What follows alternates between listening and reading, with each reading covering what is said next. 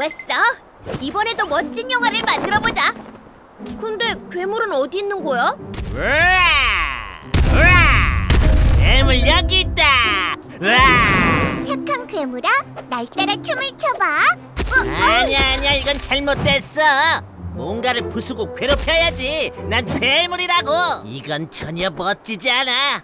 어? 그렇지. 춤보다 멋진 우정 얘기가 떠올랐어. 멈춰!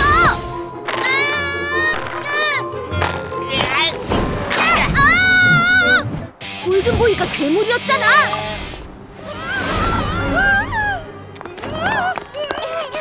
건물이 흔들릴 때 내가 널 구조하면 친한 친구처럼 보일까? 걱정 마. 살짝 덜컹거릴 뿐이니까. 얼음 땡 광선 발사!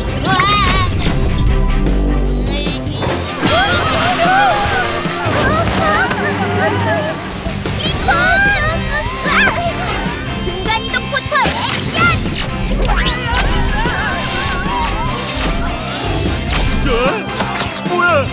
얼음땡 광선 그리고 들어올리기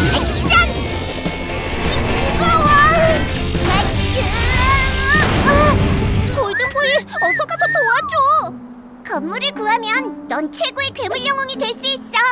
최고의 괴물 영웅이 된다고? 못 버티겠어! 어? 골든보이! 꼬마호기 내가 특별히 도와주지